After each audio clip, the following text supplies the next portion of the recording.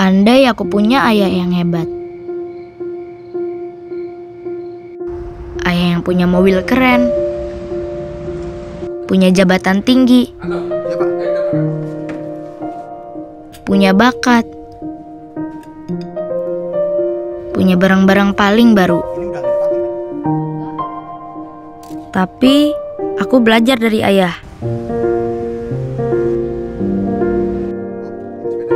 Kalau hebat itu bukan dari apa yang kita punya,